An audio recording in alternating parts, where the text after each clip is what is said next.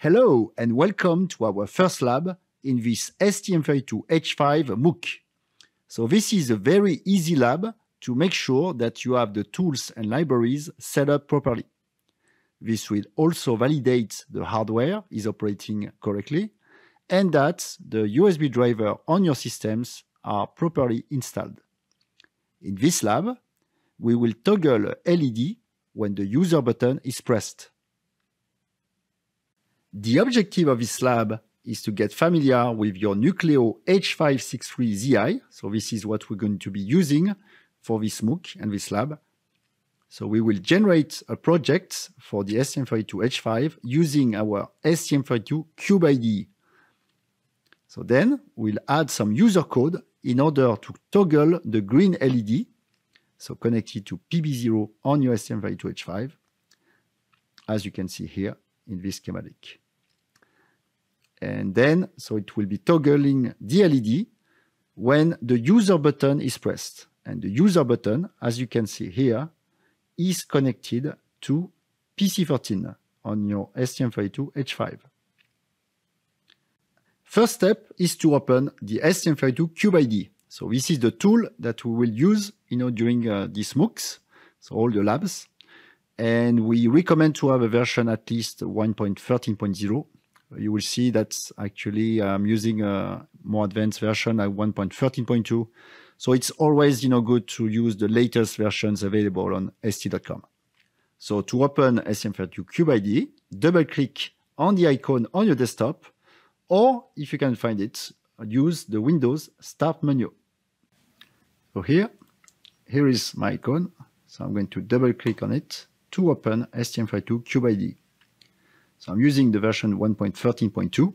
So we recommend at least, you know, like a version 1.13.0. So, but, you know, like uh, we say, if you can find an update, an updated version, of course, use the latest version. So I'm opening STM32 Cube IDE. Can take some time, you know, like the first time. So, and now it's up. To create a new project, you have different options. So from this window here, you can directly click on this icon, Start New STM32 Project.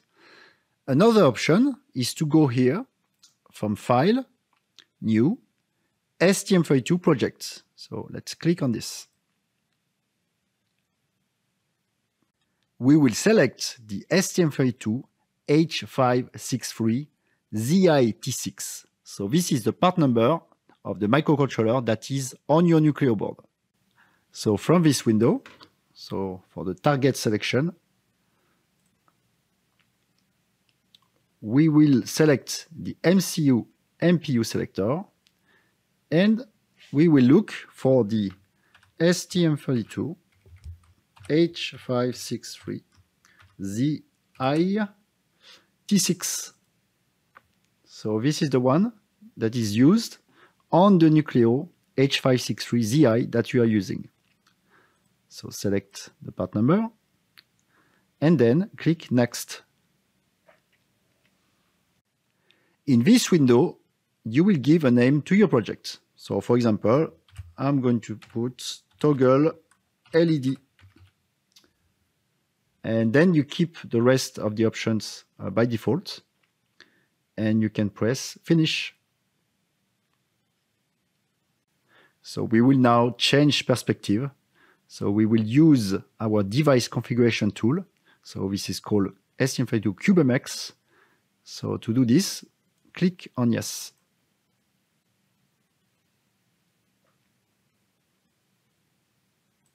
So once the IOC file has been loaded, you're going to be prompted by a window like this. So warning, code generation. So just telling you about the instruction cache and the main configuration. So, and ask you, you know, do you still want to generate the code? So we're going to click yes. Okay, so first of all, find PB0 on the pinout and then configure it as GPIO output. So to look for, you know, like a pin, we have a little magnifier, you know, like in the window, you will see. So you can input directly the name of the pin that you want to look for on your, you know, pinout. So here we'll click PB0 and then once you know you have identified where is PB0, uh, click on it and select GPIO output. So, so this is the pinout, you know, of your uh, STM32 H563. So as you can see, it's using a LQFP 144 uh, package. And so we wanted to configure PB0. So look for PB0. So this is, you know, the, the place where to look for uh, like a GPIO. And then, so once you have identified where it is, click on it. So left click on your mouse and then select GPIO output.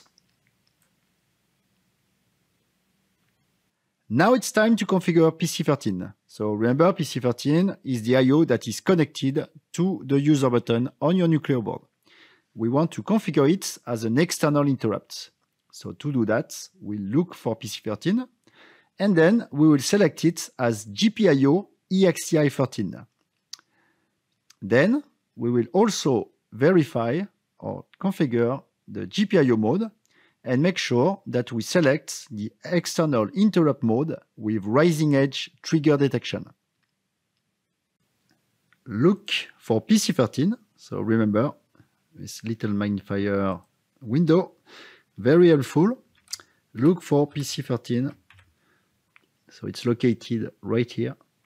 Now left click and select GPIO EXTI13. So as you can see, once you know selected, once configured, the IO is marked as green. So for example, PC13 now is configured as external interrupt. And we have PB0 that is configured as output. So actually output push-pull.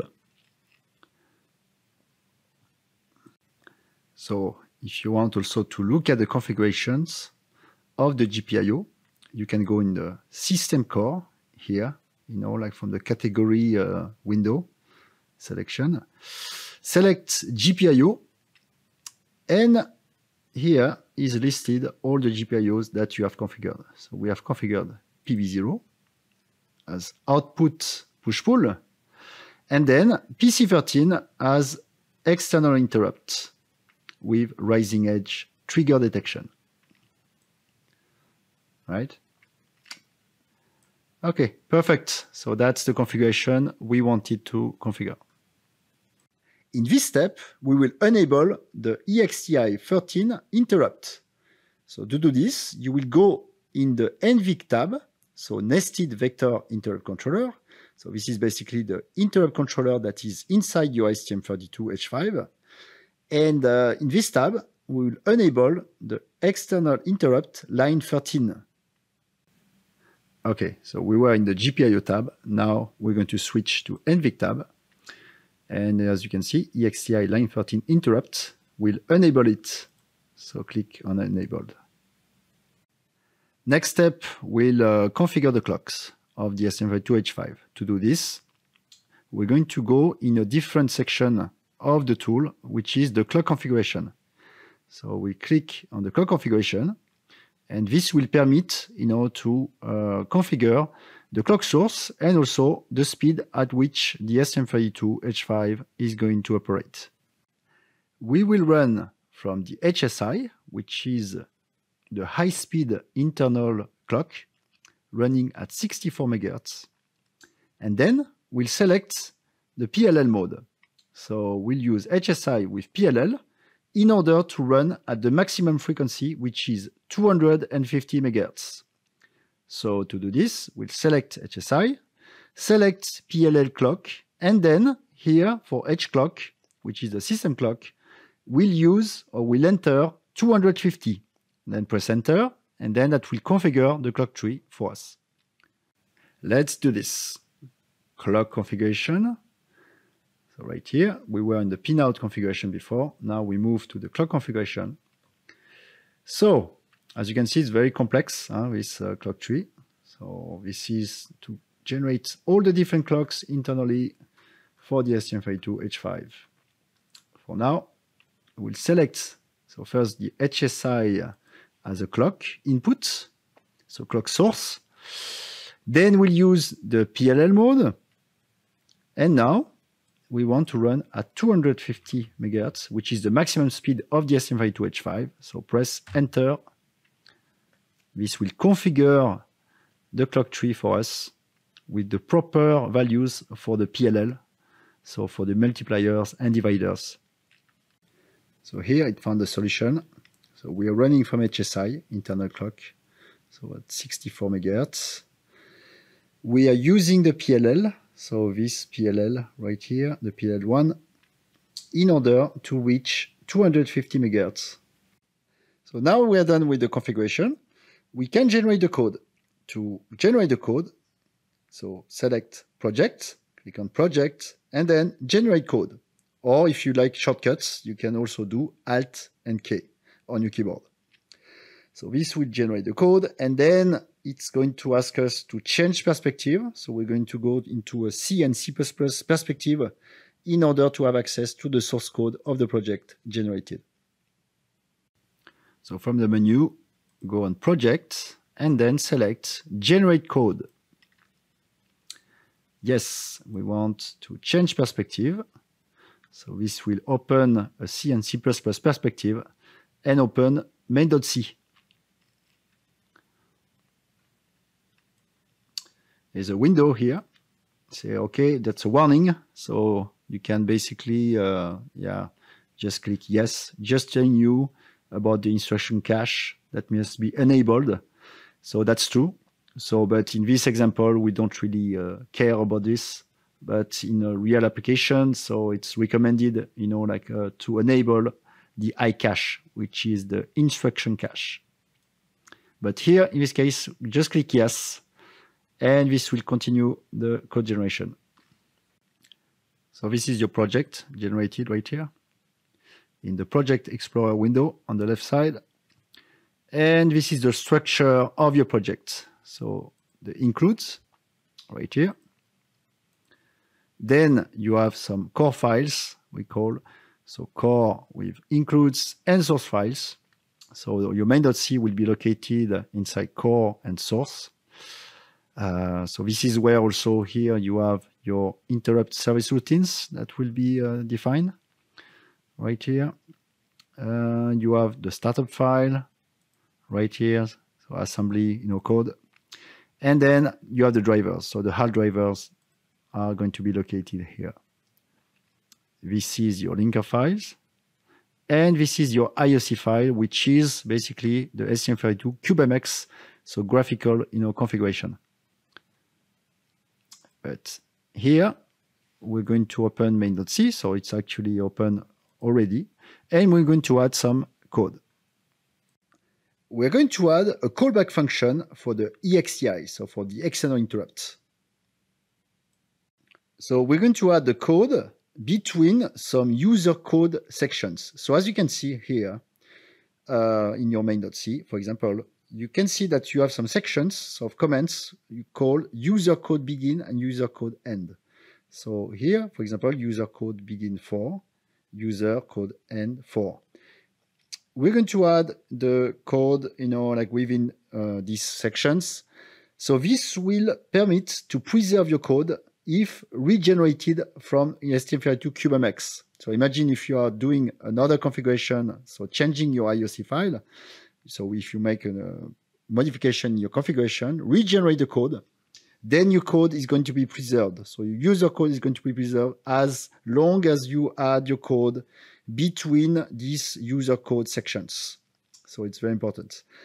And also, uh, so for the code to be added, so you can type it, but also we added the code uh, to be added inside the description of this video. So if you want to copy and paste it, you can do that. So go to the description of the video. This callback function is going to be called every time we press on PC13 so which is EXTI, so external interrupt, line 13. So we check that it's uh, line 13, so PC13 in particular. And then we'll toggle the LED using a HAL function, so HAL GPIO function to toggle the pin. So in uh, this case, the port, so GPIO B, and the pin GPIO 0, so pin 0, which is PB0, connected to the LED on your board.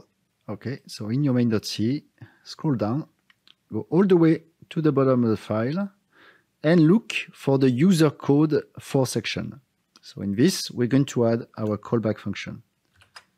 So to find again, you know, the code to be added, you can go to the description of the video and look for the code to be added. Otherwise, of course, you can type it yourself. Now we can build our project. So this will compile and link your project.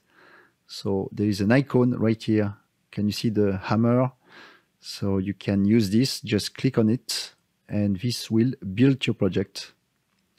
So compile all the different you know file that we have in our project.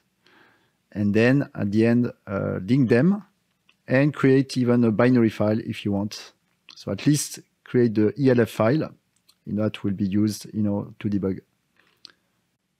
As you can see zero errors zero warnings. So this is wonderful for our first lab. So that's great and now the next step will be to test Innovis code on our target, so on the Nucleo board. So we'll enter a debug session. So that's the next step. This is the Nucleo board we are using for this MOOC and this lab. The user button is located right here. So this is the blue button.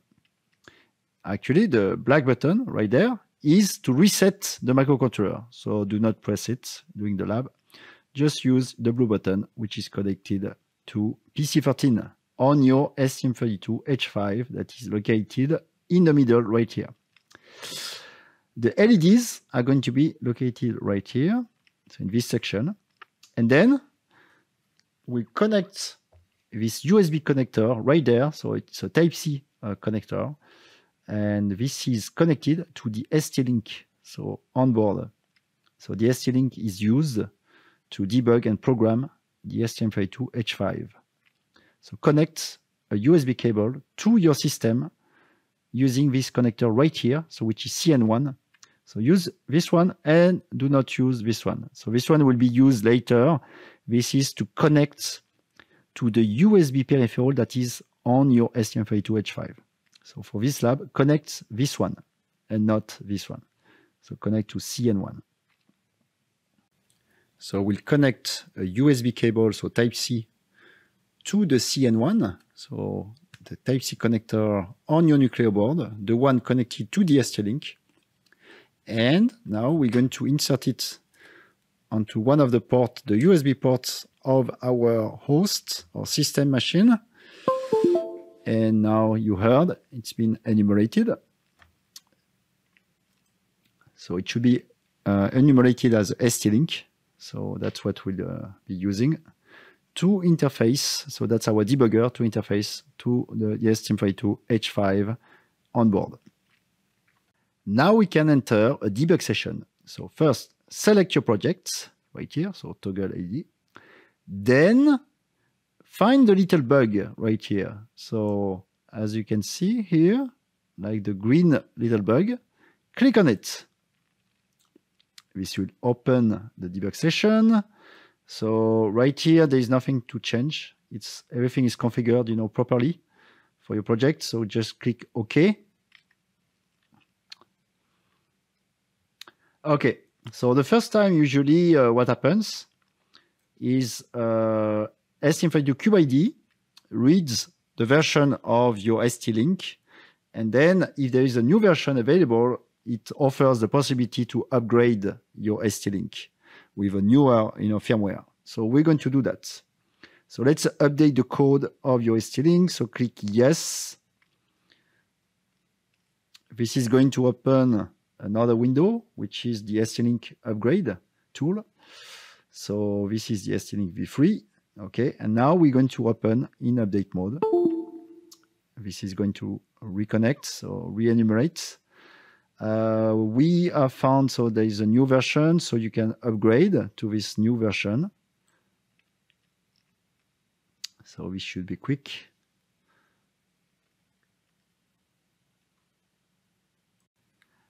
the upgrade was successful, right here, indicated right here. So now you can close this window and we're going to enter debug session again. So the little icon, remember the green uh, bug right here, or you can also enter from run, run as STM32 C and C++ application.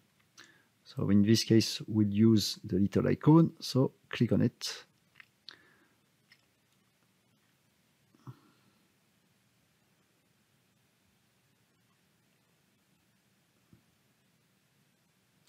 So now we're going to switch to a perspective in a debug.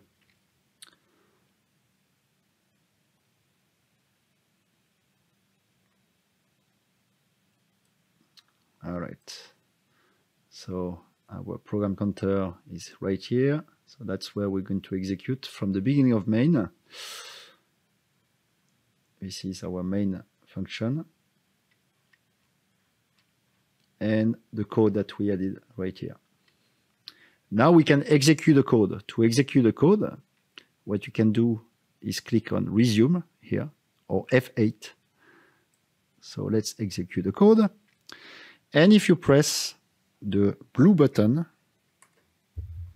you see your LED4, so which is the green LED, that toggles every time you press the button. So this works perfectly fine. That's great. So I hope it works for you too. Now what we can do, we can uh, stop the execution and we can terminate you know, the execution or the debug session. So this will exit and go back to the C and C++ perspective. This ends our first lab, so congratulations to you, and let's move on to the next one.